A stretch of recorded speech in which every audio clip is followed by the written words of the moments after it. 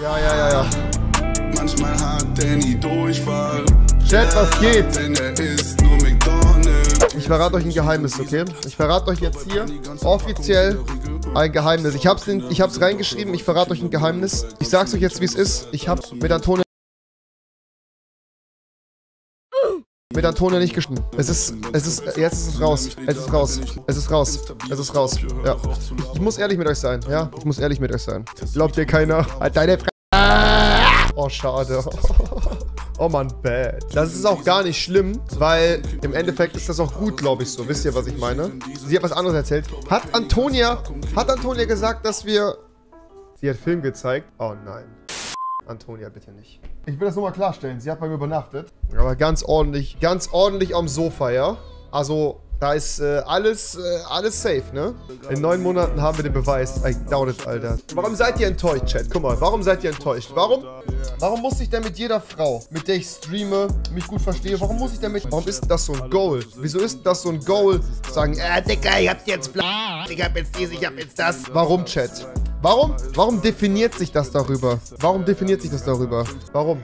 So, warum, warum muss man das so forcieren? So, wisst ihr, was ich meine? Und deshalb, ich check nicht ganz, warum das immer so einen Druck hat. So und dieses so, ja, äh, man muss, man muss, sonst ist man Loser. Das Problem ist, das Problem ist folgendes. Eine Sache, die ich wirklich habe, ist hier irgendwie so Delay drin oder bin ich besoffen? Hallo? Hallo, hallo, hallo? Ist hier Delay? Hallo? Nein? Okay, gut. Eine Sache, die ich gelernt habe. Also, ich will jetzt nicht zu sehr in, in die Details gehen, ja? Eine Sache, die ich am schmerzlichsten äh, am eigenen Leib erfahren habe, ist niemals innerhalb der Szene. Wisst ihr, was ich meine? So, weil das Ding ist, ey, es ist immer, es ist immer irgendwie, es ist immer irgendwie so, einer kriegt's mit, dann gab es bei mir mal blöderweise, äh, ähm, den Moment, wo ich was mit Zweien, ja, die halt beide irgendwie auf einer Plattform unterwegs waren und das haben die dann miteinander mitbekommen und dann gab es ganz viel Ärger für mich, Alter, deshalb, ähm, also das ist so eine Sache, keine Ahnung, Mann, ich hab irgendwie so, gut aufpassen, jetzt ist es interessant, nee, Digga, ich will, ich, ich will auch gar nicht zu sehr in, in, in die Details gehen. Das Problem ist, das Problem ist halt, es kann halt immer, es kann halt immer unschöne Folgen haben, so, das kann alles bedeuten, das kann heißen, dass man irgendwie Stress mit Leuten bekommt oder dass man irgendwie so, keine Ahnung, mäßig irgendwie, irgendwie Leute verliert um sich herum, die man eigentlich gerne hat und so. Deshalb kein Plan. Das ist so eine Sache, ich weiß nicht, Alter. Also, sag das mal in Scope. Ups. ah, ja, kann ja machen, was er will, Alter. Dankeschön, Maxi. Also, eine Sache, die ich gefühlt gelernt habe, ist, treib dich nicht in deiner eigenen Szene zu sehr wild rum. Kannst dir das Video gerne anschauen. Trimax hat dich da echt gefrontet. Hahaha. Trimax hat gestern einfach auf Twitch, auf, auf Twitter geschrieben. Bro. Bro. Trimax hat mich gestern, pass mal auf, ich muss ein bisschen, glaube ich, aufräumen mit ein paar Dingen. Trimax hat mich gestern, Trimax hat gestern folgenden Tweet, folgenden Tweet rausgehauen. Check mal kurz, Chat. Das hier. Das hat mich, das hat mich richtig getroffen. Das kam von Trimax, dieser Tweet hier. Nebelnick schreibt so, es ist echt unkompliziert, äh, eine echt unkomplizierte chillige Beziehung zu haben. Es ist schwerer als Free Spins bei Book of Ram mit 5er rein Cowboy. True, kann ich absolut äh, beweisen. Ich sag, glaube sogar unmöglich. Äh, ja, jetzt nicht nicht unmöglich, aber dann schreibt Trimax, ist echt unmöglich, wenn man jedes Wochenende fünf verschiedene Tinder-Dates hat. Und ich dachte zuerst, Digga, ich dachte zuerst, Alex ist es gewesen, aber dann, es hat wirklich Trimax geschrieben. Trimax hat mich einfach gefrontet, Digga. Dann schreibt Reapers noch, er meinte zu mir nur jedes zweite. Digga, das war einfach Trimax. Trimax wirft mir sowas vor. Trimax habe ich so ein bisschen, als ich mich mit Trimax so, äh, ich habe so ein bisschen unterhalten halt, so, so, dass ich Single bin und so. Ich habe selber zu Trimax so gesagt, er meint so, yo, Bro, du bist ja Single, ist doch voll stressig und so. Ich so, nee, so, Digga, ich genieße das voll, ist übertrieben nice und so. Und dann sind wir auch so ein bisschen auf, auf, ähm, auf so Sachen zu sprechen gekommen, die halt mal passiert sind. So, wie gesagt, ich will jetzt da nicht zu sehr ausholen. Sagen wir einfach, ich habe aus Versehen, ohne es zu wissen, mit zwei Personen, die sich sehr nahe standen, Influencer im weitesten Sinne und dann gab es eine Menge Stress und es war sehr schade, weil ich beide Personen sehr gerne gehabt habe im Endeffekt. Und ich habe halt Trimax so darüber erzählt, so. Ey, ich sag's euch ehrlich, Chat, ich, ich suche momentan gar nicht. Ne? Es, es ist wirklich, klar, man, man, hat, man hat so, es gibt, guck mal, das Ding ist, ich mache jetzt mal einen ganz kurzen Real Talk, ja? Es gibt Phasen. Es gibt Phasen, wo ich wirklich, wo ich wirklich teilweise da denke, Alter, boah, jetzt mit Gina, mit Gina nichts gehabt. Mit Gina nichts gehabt, Chat. Wo ich mir so denke, ey, ich hätte jetzt schon gerne feste Beziehung und eine Freundin und so. Gerade gestern, nach dieser OP, boah, habe ich mir gewünscht, dass mich jemand umsorgt und so. Ich habe aus dem Ohr geblutet, ich habe gekotzt. Ich war wirklich, wirklich komplett im Eimer und da wünscht man sich sowas halt schon. Auf der anderen Seite, auf der anderen Seite, Digga, dann kam Tobi. Tobi, no joke. Kuss, Digga. Tobi hat mich wirklich abgeholt. Auf der anderen Seite, Chat, muss ich ganz ehrlich sagen, eine warum OP?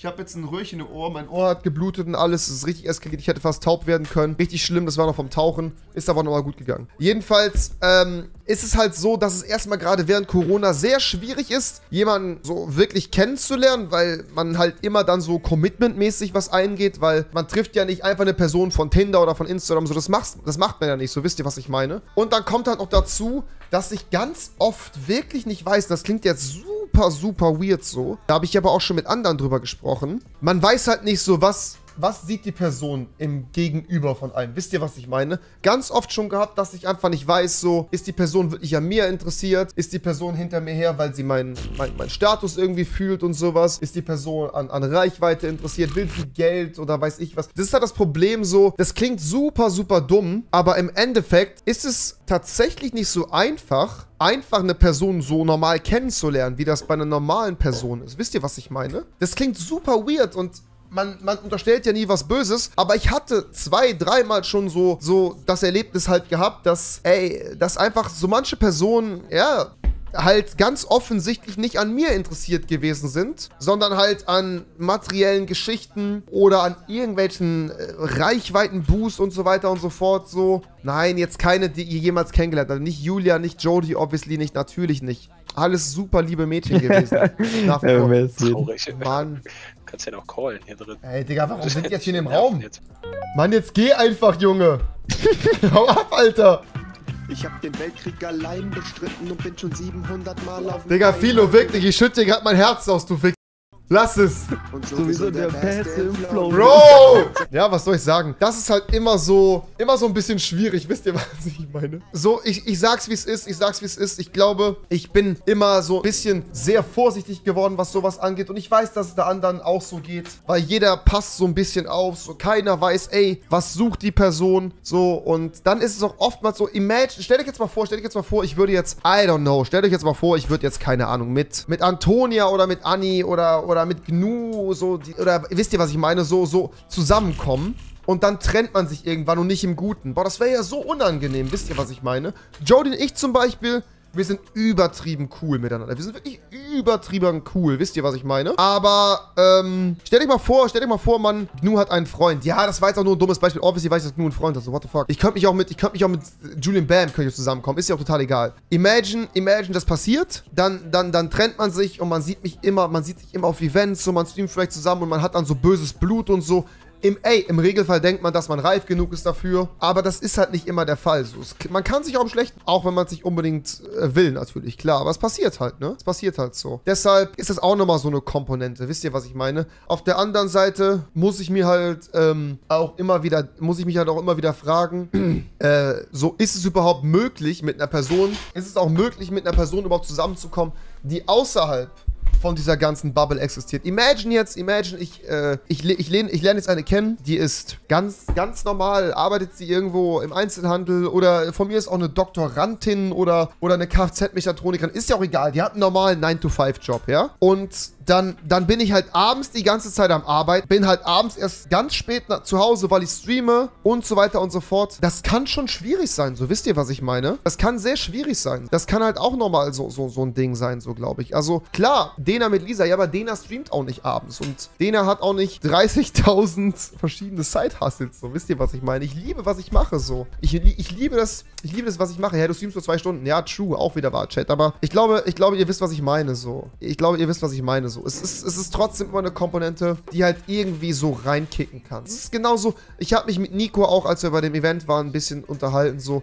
Passt das gerade? Kann man das gerade? Wenn man, wenn man so überlegt, eine Partnerin oder sonst was, ja, die braucht ja, die braucht ja jemanden. Trimax. Trimax ist einer der einzigen mit Selina. Selina hat sehr, sehr viel Verständnis, I guess, dafür, was Trimax macht. Äh, Trimax Selina, das einzige Paar, wo ich weiß, dass es richtig, richtig krass gut funktioniert. Die sind super glücklich und so. Die sind aufeinander zugeschnitten. Die kennen sich schon sehr, sehr lange. Die sind zusammen quasi auch gewachsen. Aber wenn ich jetzt plötzlich, Basti GRG streamt seit fünf Jahren circa sieben bis acht Stunden. Guck mal, ich will, ich will mich auch gar nicht beschweren, so Chat. Ich will mich gar nicht beschweren. Bei mir ist es aber nicht nur, dass ich halt streame, sondern auch gefühlt neben dem Streaming mache ich ein Musiklabel, mache ich Immobilien, ich mache ich mach Investments, ich mache Krypto-Shit, ich mache, ich habe Angestellte hier, wir haben hier Firmen und so weiter und so fort. Wisst ihr, was ich meine? Das sind alles Dinge, die brauchen über viel Zeit. Versteht ihr, was ich meine? So, das ist halt das Ding, so Selbstschuld, Mate. Ist so, ist so. Ich beschwere mich ja auch gar nicht. Ich sag halt nur, ich sag halt nur, wenn ich jetzt tatsächlich was mit einer, mit einer, mit einer Frau ernsthaft eingehen würde,